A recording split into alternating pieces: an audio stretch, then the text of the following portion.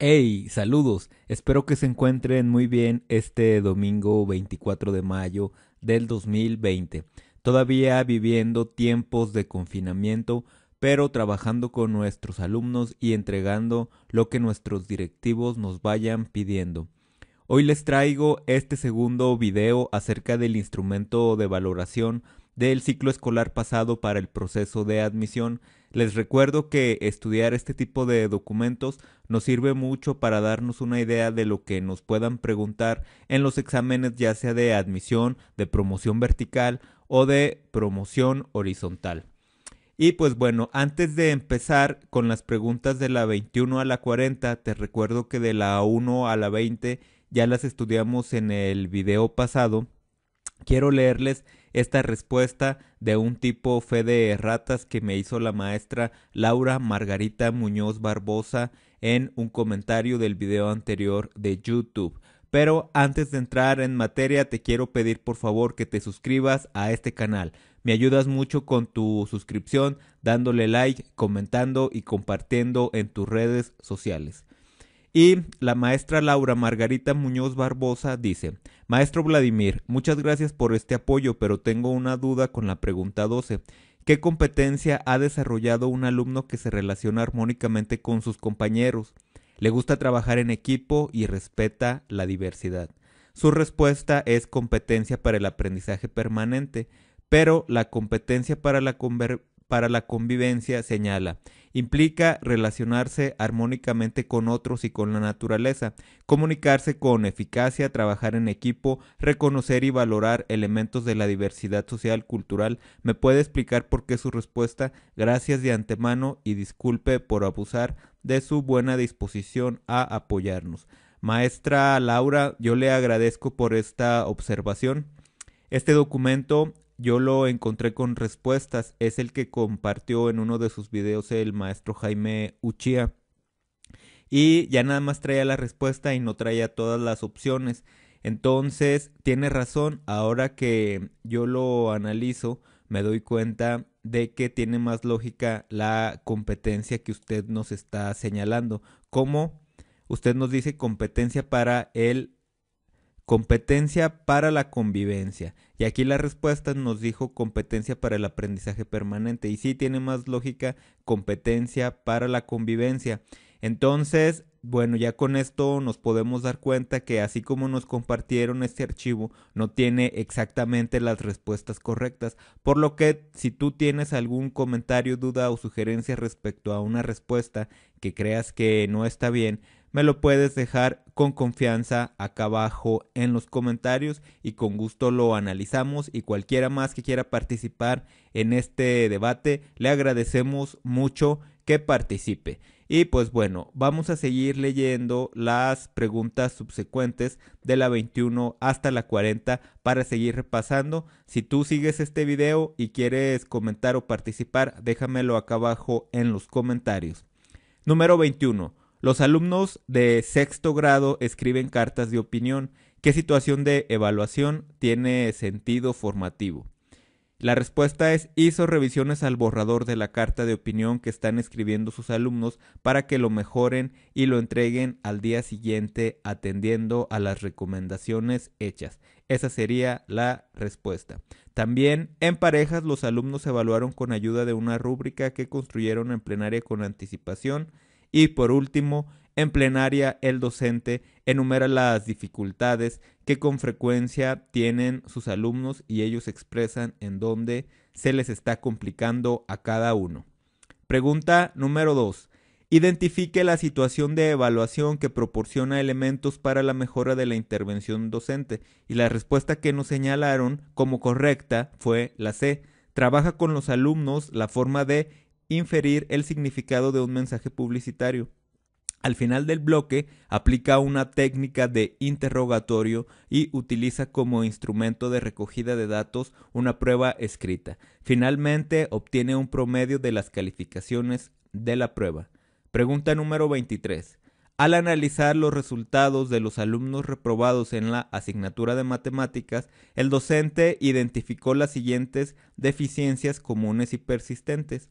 Los productos presentados por los alumnos distaban en cuanto a la adecuación de su contenido y el formato de su presentación. Las respuestas en sus ejercicios escritos no correspondían a los problemas planteados, pero estos resultaban correctos en su ejecución y existía inconsistencia en los métodos empleados para resolver problemas del mismo tipo.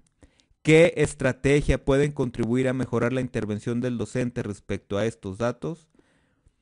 Las respuestas, hacer preguntas dirigidas a los alumnos en el momento en que expliquen las formas de resolución de las tareas de aprendizaje, proponer trabajos de equipo en los que se propicie de manera homogénea la participación de todos los integrantes, retroalimentar a los alumnos para su desempeño a partir de sus áreas de oportunidad.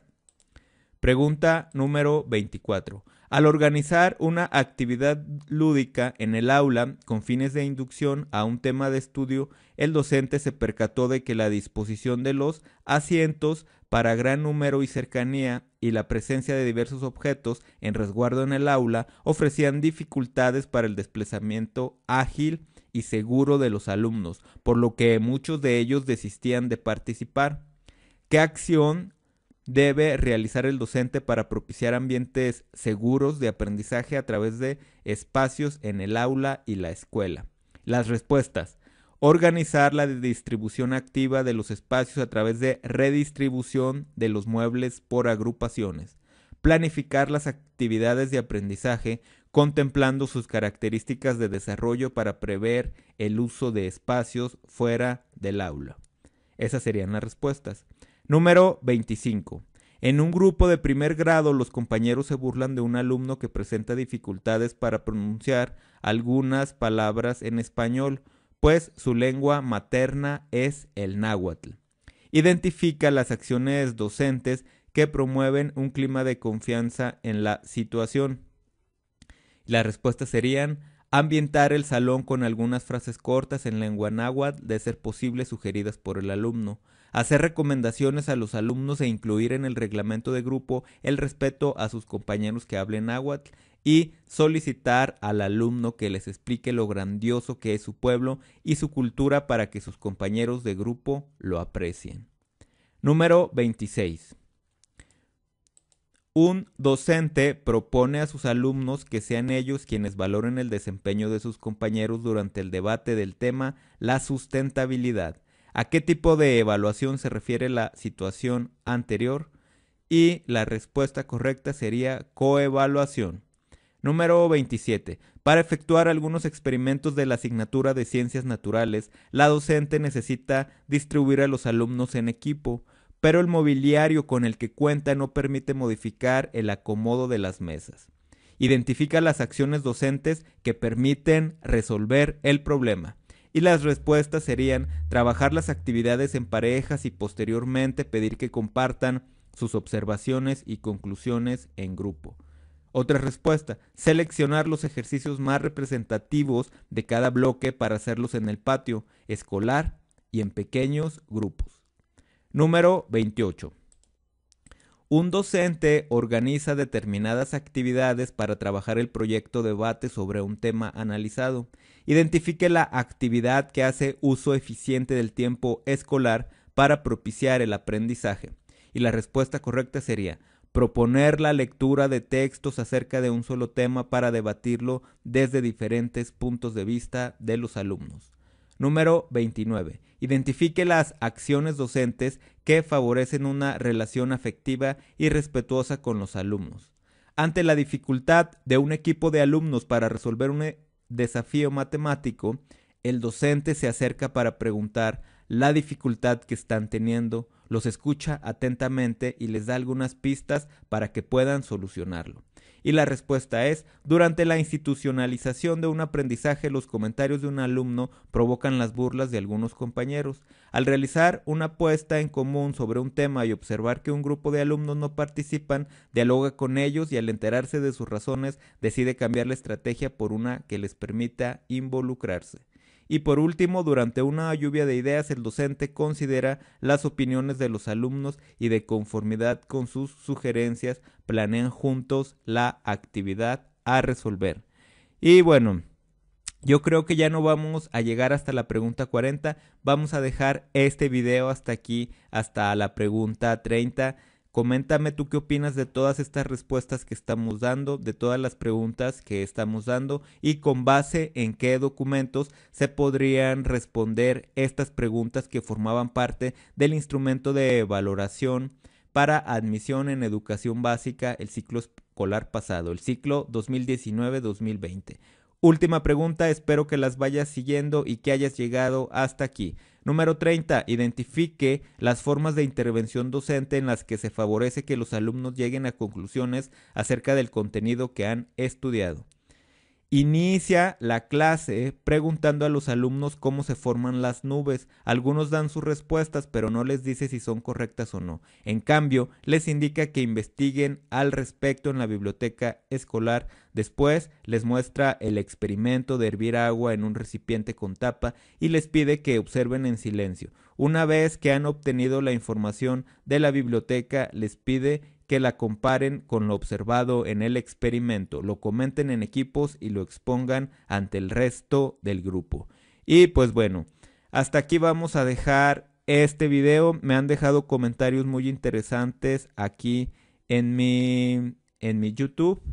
En, en un futuro video estaré leyendo todos sus comentarios para que comenten y aparezcan en el siguiente video. No se les olvide por favor suscribirse a este canal, darle like, comentar, compartir en, en tus redes sociales, pero sobre todo suscribirse. También les voy a pedir que sigan mi página de Facebook Mejora Continua Educativa, donde comparto videos y documentos, guías y simuladores. Este documento que analizamos ahorita ya te lo había convertido, te lo había compartido en el video anterior como documento de Word ya lo convertí a PDF porque así se me hace a mí más fácil trabajarlo. Y este documento ahora en PDF te voy a dejar la liga acá abajo en la descripción del video para que pases, le des clic y lo descargues y lo tengas en tus dispositivos y lo repases, comentes. Y pues bueno, hasta aquí vamos a dejar este video, nos vemos, hasta luego, adiós.